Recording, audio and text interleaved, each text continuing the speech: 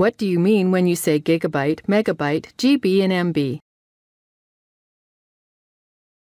The smallest unit of measurement on a computer is the bit. There are almost always 8 bits in one byte. These two terms are commonly confused with each other.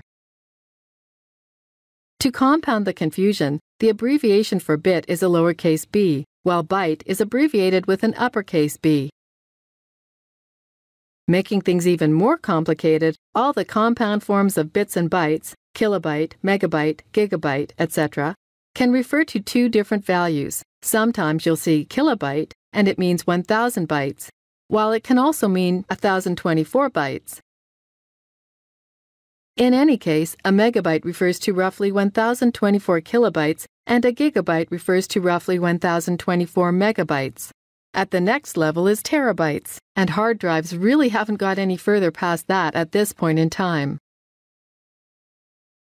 One other important thing you should know is that whenever you hear about the speed of an internet connection, it's almost always going to be referred to in bits, whether that's kilobits, megabits, or gigabits.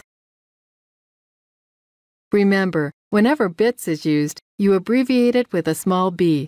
So, kilobits equals KB, megabits equals MB, and gigabits equals GB.